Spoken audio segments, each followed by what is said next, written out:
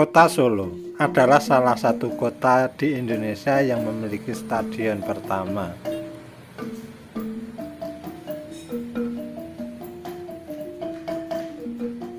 Yaitu Stadion Sriwedari yang dibangun oleh Raja Kasunanan Surakarta Pakubuwono ke-10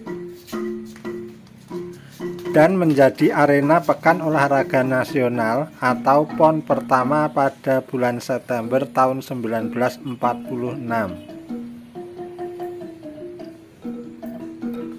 Pada tahun 90-an, kota Solo membangun lagi stadion baru yang lebih besar dan megah di daerah Manahan jadilah komplek olahraga yang lengkap dan sekarang dinamai dengan Stadion Gelora Manahan atau lebih dikenal dengan Stadion Manahan.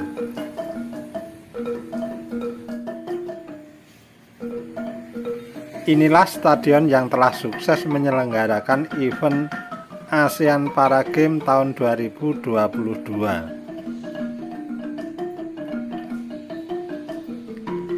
Tahun lalu, Kota Solo telah sukses menyelenggarakan event olahraga kelas dunia alias internasional.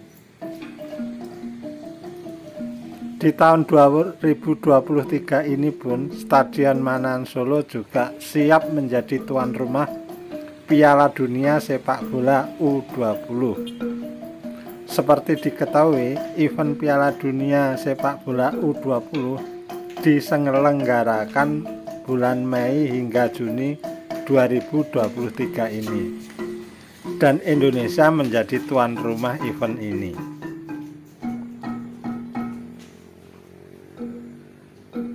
Kota Solo menjadi salah satu tuan rumah ajang ini di Stadion Manahan. Oke, sekarang kita masuk ke area parkir Stadion Gelora Manahan. Area ini banyak pohon-pohon hijau, peneduh, hingga suasananya sejuk. Rambu petunjuk fasilitas Gelora Manahan.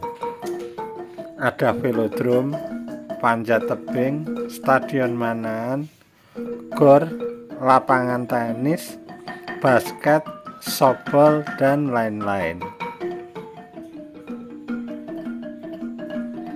Kita melangkah ke stadionnya.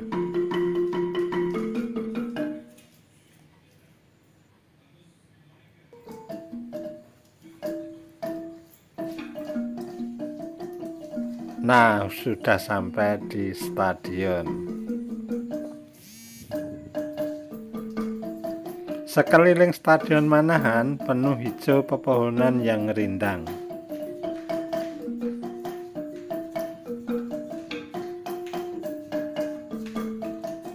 Stadion Manahan tampak megah.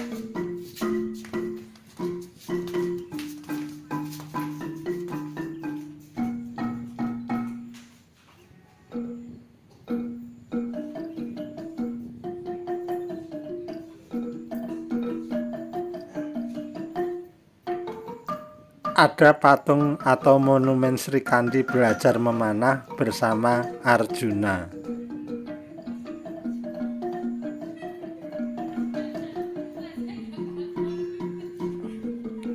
Semua sudah siap tertatap dengan baik.